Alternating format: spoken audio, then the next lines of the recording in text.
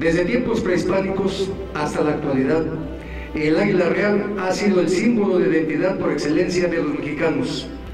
Es por ello que la Secretaría de la Defensa Nacional,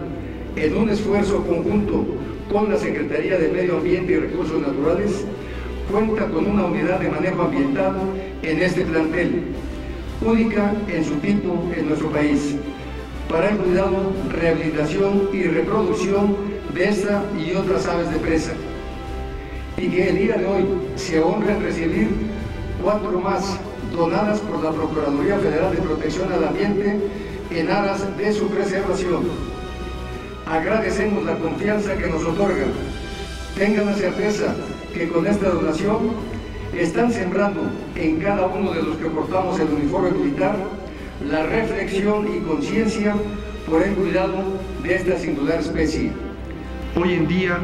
damos un paso importante para el fortalecimiento de esta antigua y gran relación que nos une con la Secretaría de Defensa Nacional y hacemos entrega de cuatro águilas reales rescatadas recientemente en los estados de Chihuahua, Jalisco y Tamaulipas, las cuales fueron extraídas ilegalmente de su hábitat y estamos ciertos que una vez que sean valoradas y rehabilitadas, en los próximos meses podremos lograr darles libertad en su medio silvestre y sobre todo cuidar de toda la especie y de su territorio. Yo felicito de manera y reconozco ampliamente al Colegio Militar por contribuir con el sector ambiental en esta noble labor.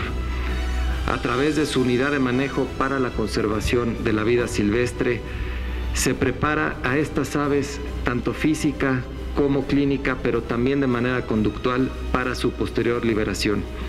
Quiero destacar que por sus fines y por sus características, esta UMA no es solamente la primera que ha logrado una liberación de un águila real, sino que es única en el país que puede realizar este tipo de cosas.